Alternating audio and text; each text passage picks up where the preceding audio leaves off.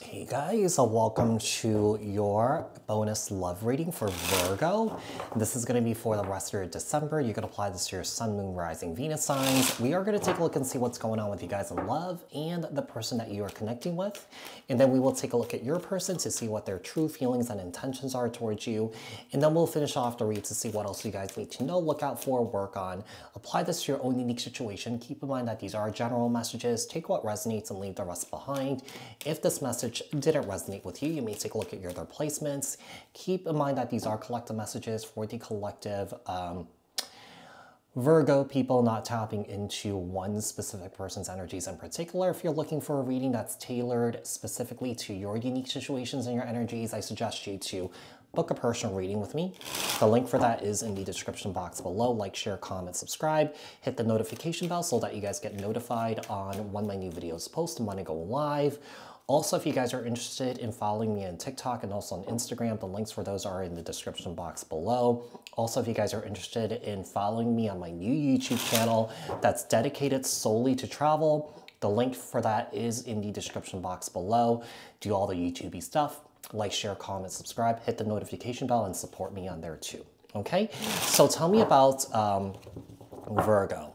Tell me about Virgo and love and the person that they are connecting with for the uh, rest of their December. Sun, Rising, Venus signs for Virgo, for Virgo, for Virgo.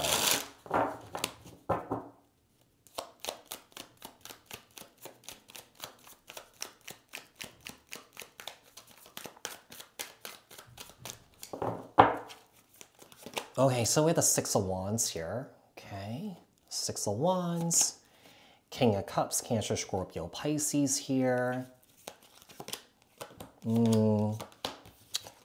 There is a situation where I feel like this person's definitely like operating in the ego here. This person could have lied to you, was deceptive towards you, traumatized you here, and I feel like this person's like feeling really good about themselves here yeah, the wheel, uh, you know, I feel like this person really let you down and you feel like you've definitely learned some big lessons from this situation here.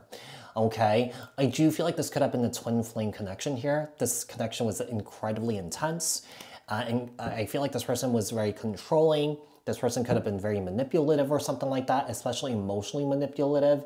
With the Four of Wands here, we have the Emperor, you know, I, it's so interesting because uh, I feel like the situation that you're in, I feel like this per person's parent or parents got involved here.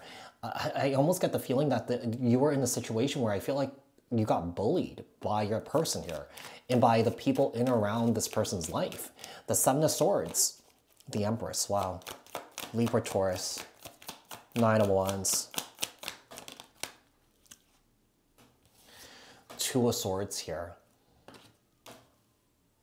Yeah, hard left on this person here. You're definitely completely over this person. Yeah, you're done with this person. You have nothing more to give to the situation here. You're not even accepting this person's apology at this point here. I mean, you could be in this energy of like, you know what? I don't need to talk to this person, but I'm going to forgive this person for my own sake and just move on. Let's see, what else do we have here for Virgo? The person that Virgo is dealing with. What is this person's true feelings and intentions towards Virgo? What is this person's true feelings and intentions towards Virgo for the rest of their December Sun, Moon, Rising, Venus signs for Virgo, for Virgo? King of Swords and the Hanged Man, Piscean energy here. This person is definitely having a hard time letting you go. They're definitely also seeing um, having a hard time seeing the position that you, they put you in here. We have the Fool card in the Sun.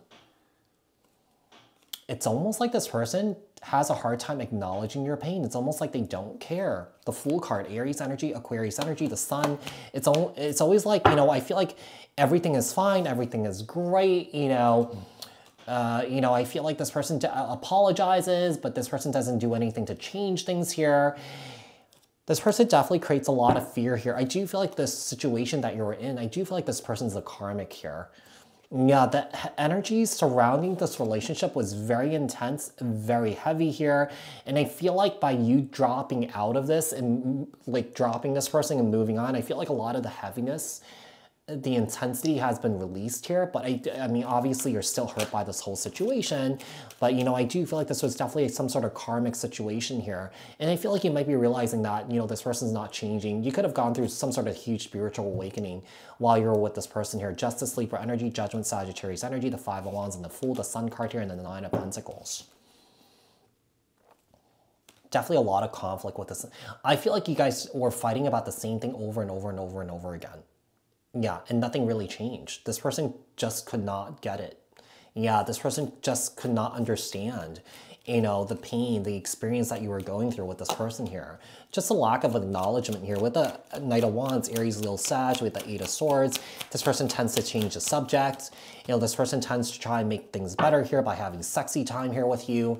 I just feel like this person has consistently betrayed you over and over and over and over and over again. Just, just, just, just they just can't get things straight, get it right with you. Yeah. So I feel like you're definitely like, you know what, situation's not going to change. I'm just going to change my situation myself. What else do we have for, for Virgo? What else does Virgo need to know? Look out for work on here when it comes to this love situation. For uh, the rest of the December, Sun, Moon, Rising, Venus signs for Virgo, for Virgo. Nine of Swords and the Chariot. Yeah, I just feel like you just don't want to put yourself in a position of suffering here by staying here. Uh, chariot, Cancer energy. So I feel like you're actively making a decision to move away from this. You're trusting your intuition. You're trying not to confuse yourself. You're trying not to make any sort of excuses here. You're trying not to overcomplicate it. It's sort of like what is, is what is. You know what I mean? What you've seen is what you've seen. You know, you can't unsee it. You can't debunk it, you know? So the Eight of Wands here and the Eight of Pentacles. Yeah, you're definitely wor- like I feel like you're definitely moving on from this and you're focusing on your pentacles here, you're focusing on your work. You're realizing that the situation that you were in was very, very, very toxic here. You know, I do feel like you might have been dealing with like a narcissistic person.